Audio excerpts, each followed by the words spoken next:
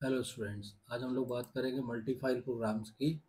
देखिए मल्टीफाइल प्रोग्राम में क्या होता है कि पहले आपको इसकी बेसिक कॉन्सेप्ट समझना पड़ेगा कि मल्टीफाइल प्रोग्राम्स क्या होते हैं और कैसे डेवलप किए जाते हैं।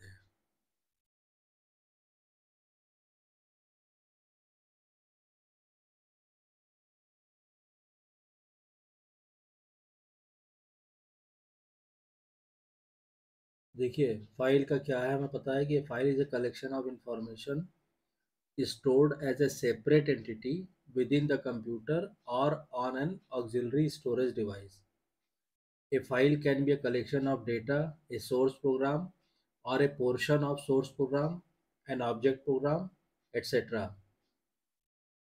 तो फ़ाइल क्या होता? है फ़ाइल एक सेपरेट एंटिटी की तरह कंप्यूटर में या सेकेंडरी स्टोरेज में सेव किया जाता है और फ़ाइल में क्या हो सकता है? फ़ाइल में देखिए, फ़ाइल क्या हो सकता है? फ़ाइल कलेक्शन ऑफ़ डेटा, यानी किसी फ़ाइल में हमने डेटा स्टोर करके रख दिया है, वो भी हो सकता है, ठीक है? किसी प्रॉब्लम को सॉल्व करने के लिए जो सोर्स प्रोग्राम है, वो भी हम फ़ाइल में बना के सेव कर सकते हैं। या हमने कहा कि किसी भी सोर्स प्रोग्राम का कोई पार्ट है, यानी हमने कहा कि पार्ट ऑफ़ सोर्स प्रोग्राम, वो भी हम फ़ाइल में सेव कर सकते हैं। या हमने कहा कि कोई ऑब्जेक्ट प्रोग्राम है, ठीक है? उसको भी हम फ़ाइल में सेव करके रख सकते हैं और इस तरह से कई चीज़ें हम फ़ाइल में स्टोर करके रख सकते हैं।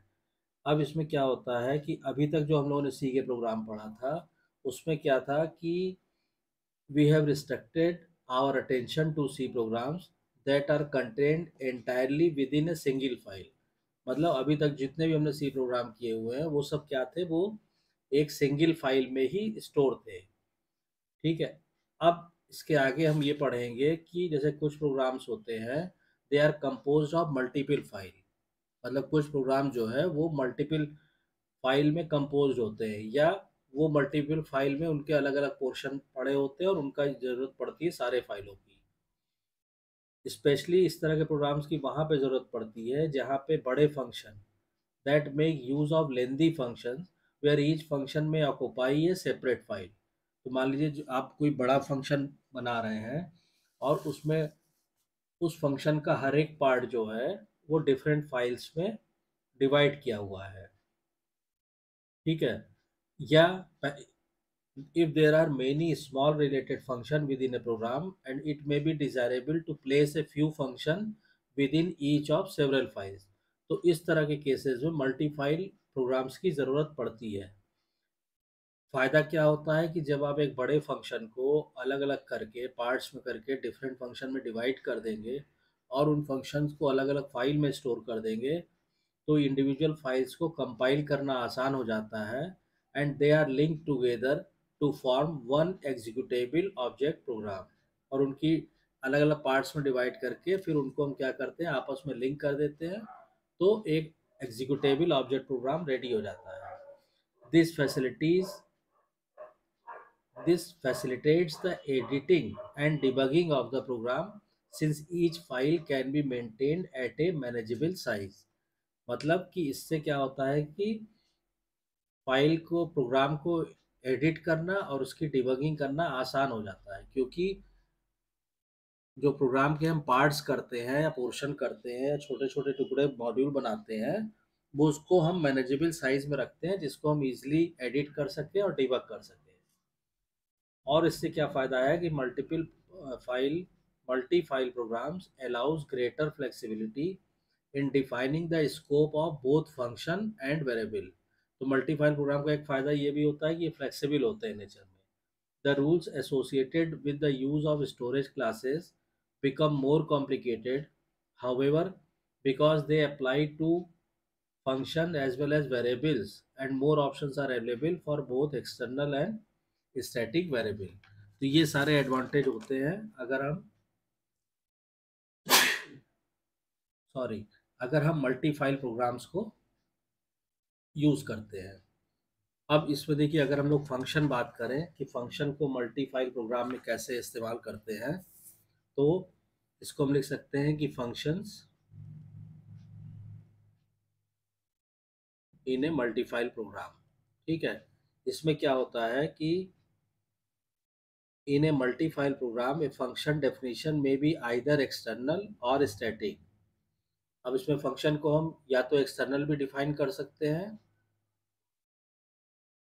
या उसको हम स्टैटिक भी बना सकते हैं ठीक है एक an external function will be recognized throughout the entire program whereas a static function will be recognized only within the file in which it is defined तो अगर फ़ंक्शन को आपने एक्सटर्नल डिफाइन किया है तो वो सारी फाइलों में, जो भी फ़ंक्शन की फाइलें हैं, जो भी मेन प्रोग्राम की मान लीजिए चार फाइलें हैं तो चारों में वो रिकग्नाइज होगा। जबकि अगर आप उसको स्टैटिक डिफाइन करेंगे तो वो केवल उसी फ़ाइल में रिकग्नाइज होगा। In each case the storage class is establish by placing the appropriate storage class designation either extern or static at the beginning of the function definition The function is assumed to be external if a storage class designates, designation does not appear.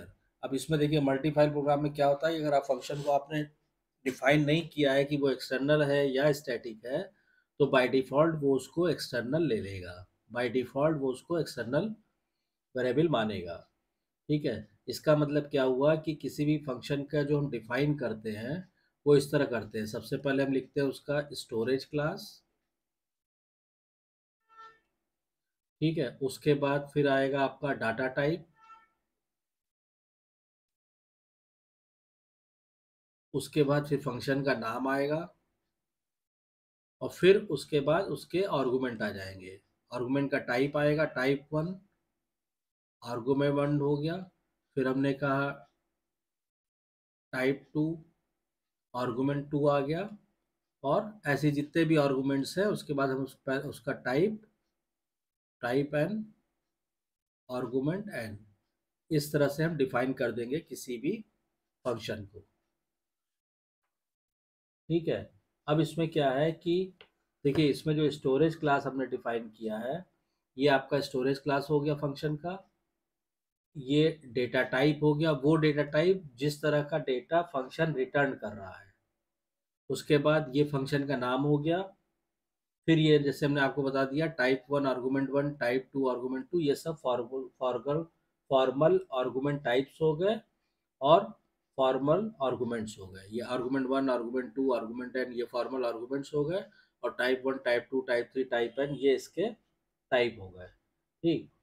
अब इसमें क्या होता है कि ये एक चीज़ ध्यान रखनी पड़ेगी कि the storage class the data type and the formal arguments need not all be present in every function definition तो कोई ज़रूरी नहीं है कि स्टोरेज क्लास और डाटा टाइप और फॉर्मल आर्गूमेंट्स ज़रूरी हो हर फ़ंक्शन के डेफिनेशन में। अब इसमें when a function is defined in one file and accessed in another, the latter file must include a function declaration तो अब देखिए, मान लीजिए कोई फ़ंक्शन किसी फ़ाइल कोई f1 फ़ाइल है, इसके अंदर कोई फ़ंक्शन हमने डिफाइन किया है। ठीक है? मान लीजिए हमने फ़ंक्शन वन इसमें डिफाइन किया है और इसको हम यूज़ कर रहे हैं एफ़ टू में तो क्या होगा कि जो एफ़ टू फ़ाइल है, इसके अंदर इस फ़ंक्शन वन का डिक्लेरेशन एफ़ टू फ़ाइल के अंदर होना चाहिए।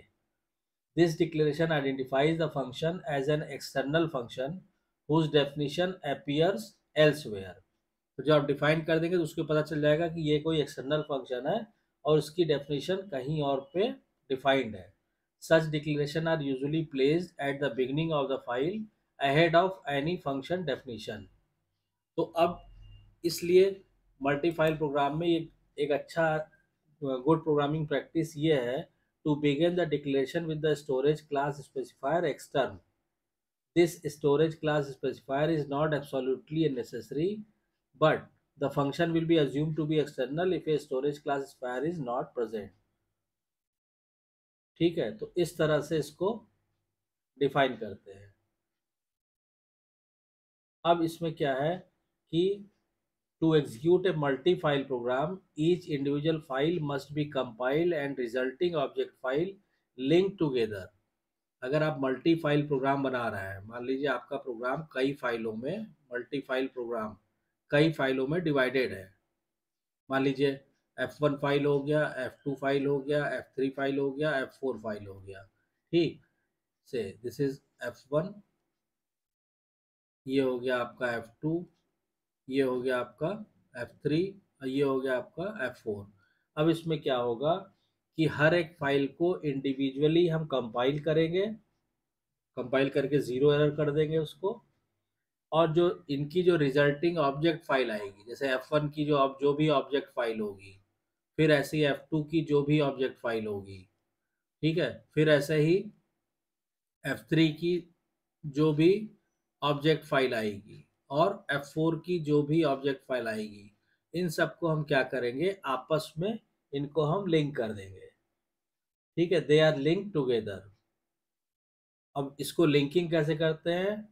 Usually combine the source files with in a project we then build the project मतलब compile all of the source files and link the resulting object files together into a single executable program. If some of the source files are later changed, we make another executable program. ठीक है यानी इन सारी files को आपस में link करके ठीक है इनको हम क्या करते हैं? इनको हम आपस में लिंक करके एक प्रोजेक्ट बना देते हैं। ठीक है? इससे क्या और इस, इसको रन कराने के लिए एक हम एग्जीक्यूटेबल प्रोग्राम बना देते हैं। ठीक है? अब उसमें क्या होता है कि मान लीजिए बाद में F2 फ़ाइल में अगर कुछ चेंजेस हुआ तो इसको मीट करने के लिए हम एक और एग्जीक्यूटेबल प्रोग्राम बना देते हैं। तो इस तरह से मल्टी फ़ाइल प्रोग्रामिंग की जाती है और इस तरह से किसी प्रॉब्लम को मल्टी फ़ाइल के ढंग से मल्टी फ़ाइल टेक्निक से हम इसको हैंडल करते हैं। तो आई होप कि आपको बेसिक कॉन्सेप्ट क्लियर हो गया होगा मल्टी फ़ाइल का। अब नेक्स्ट लेक्चर में नेक्स्ट वीडियो लेक्चर में हम इसको एक एग्ज़ाम्पल लेके आपको एक्सप्लेन करेंगे। तो आई होप कि आपको वीडियो कंटेंट पसंद आया होगा। अगर वीडियो कंटेंट पसंद आया तो प्लीज़ वीडियो को शेयर कीजिए लाइक कीजिए चैनल को सब्सक्राइब कीजिए और नोटिफिकेशन बिल को ज़रूर ऑन कर दीजिए ताकि नेक्स्ट वीडियो की इन्फॉर्मेशन आपको टाइम से मिल सके। Thank you